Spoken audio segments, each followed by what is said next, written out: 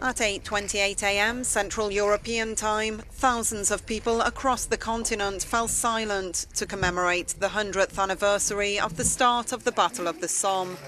Members of the British royal family joined the French president at the Thiepval Memorial in northern France. The five-month battle in the middle of the First World War was one of the bloodiest in European history.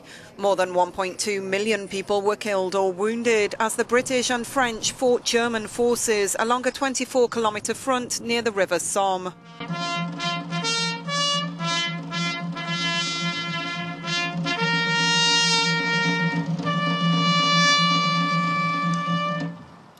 July the 1st, 1916 has gone down on record as the bloodiest day in the history of the British Army. 19,240 soldiers were killed as the troops advanced just 4.8 square kilometres.